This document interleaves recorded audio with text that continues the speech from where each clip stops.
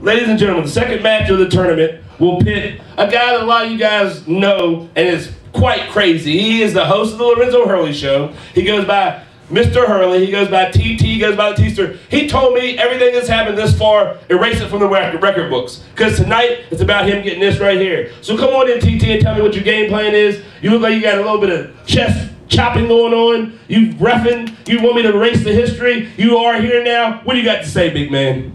First of all, I just say I got Rockaware underwear on. I just want you to know that. Second of all, I'll say, I hear I got an opponent.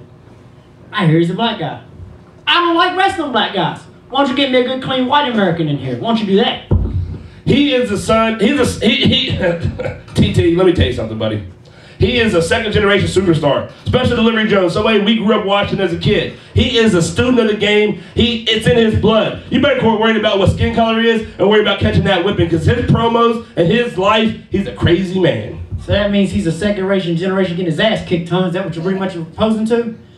Get SD Jones in here. Get Rocky Maivia. Get who you got to get in here. Look at me. You're looking at the real deal. I'm Mr. Hurley. Okay? I hunt girls every night. Every night. Not twice, every night. Don't you get that shit on the record because I got a wife at home. But that doesn't matter. What I do is I get it and I get it any way I can, any way possible, even if I gotta pay. Now, back to my man on the hour, SD Jones. If he wants a piece of me, get him in the ring. I'll show him how a real winner does. Always provocative statements made by that man. I can't wait to see what we got going on tonight.